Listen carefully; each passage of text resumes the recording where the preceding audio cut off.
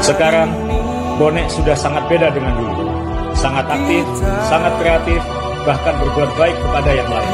Namun, seberapa keras kita berusaha, tentu masih banyak pihak yang belum mengakuinya.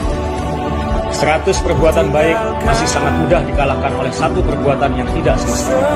Hanya konsistensi dan waktu yang bisa menghapus segala image Ayo kita tunjukkan kelas kita. Ayo kita tunjukkan bahwa Persebaya dan supporternya adalah benar-benar yang terbaik. Ayo terbang tinggi. Kita tunjukkan kepada dunia. Takkan pernah lelah dan terhenti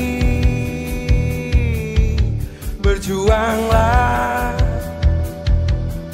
engkau Demi kebanggaan kami Ku korbankan